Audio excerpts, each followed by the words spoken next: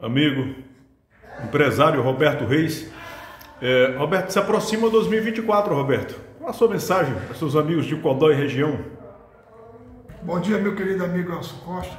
É sempre um prazer recebê-lo aqui, a satisfação imensa. E queria aproveitar a ocasião para mandar uma mensagem aos meus irmãos dos quilômetros 17 e meus irmãos de Codó, terra que eu amo, que fui criado e que tenho verdadeira paixão. Final de ano, mais um ano indo embora, e o ser humano sabe que nesse período é onde se renova as esperanças, onde se cria a expectativa que dias melhores virão, que as coisas vão começar a andar. E eu queria aproveitar para desejar ao quilômetro 17 muita saúde, muita paz e que as pessoas consigam, pelo menos, realizar uma parte do, seu, do seu sonho. Dizer que vai resolver tudo seria utopia, entendeu? Mas que pelo menos tenha um ano que vai entrar melhor do que, que passou. Que as pessoas tenham mais humanidade, tenham mais amizade, tenham mais amor, que é o que está faltando no ser humano, para que as coisas comecem a andar. Meus irmãos codoenses do mesmo jeito.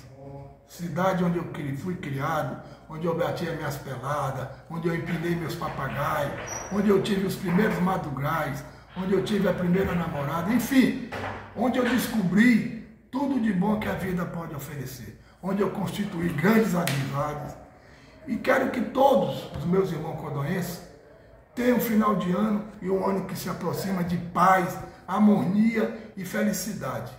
E que não esqueça que, acima de tudo, a gente tem que seguir o que Jesus pediu e pregou. O que me mete medo, meu querido amigo Aço Costa, é que ultimamente a gente tem visto que a humanidade não está seguindo o que Jesus pregou quando aquele veio. Isso é muito perigoso, Elcio. A gente está tá numa situação em que ano após ano a situação está ficando mais difícil. Olha, eu andei em Codó esses últimos dias, eu fiquei triste não vi ninguém sentado numa porta conversando. Isso era muito salutar, gente. A cidade era alegre, inspirava confiança, inspirava união. Todo mundo se cruzava, se cumprimentava. Eu não estou vendo mais isso aqui em Codó. A Bíblia diz que o amor ia esfriar. Infelizmente, nós estamos passando por esse processo. Mas eu não perco a esperança.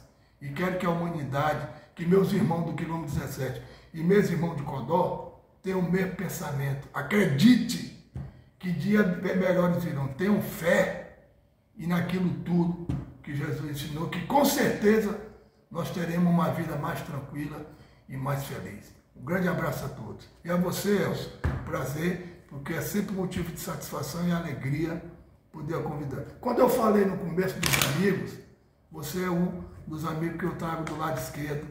E como eu falei anteriormente em algumas situações, espero continuar seu amigo enquanto vida estiver aqui. Você é uma pessoa do bem e as pessoas do bem têm que ser sempre exaltadas e têm que ser sempre valorizadas.